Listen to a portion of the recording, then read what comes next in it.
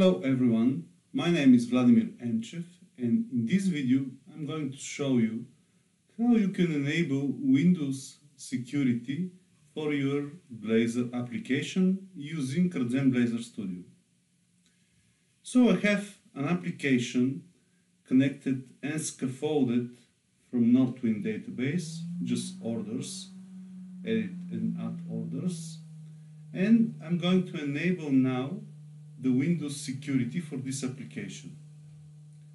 Click Security button and choose Windows.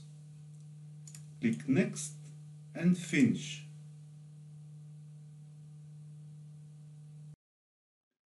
As you can see now, all the pages for edit, add and list orders access is switched to authenticated.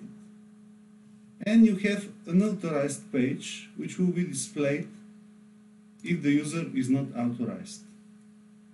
So now we need to add some roles.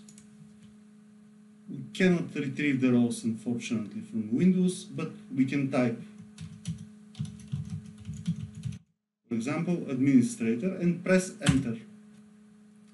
You can add multiple roles for every page or you can remove any existing roles. You can do that for controllers as well.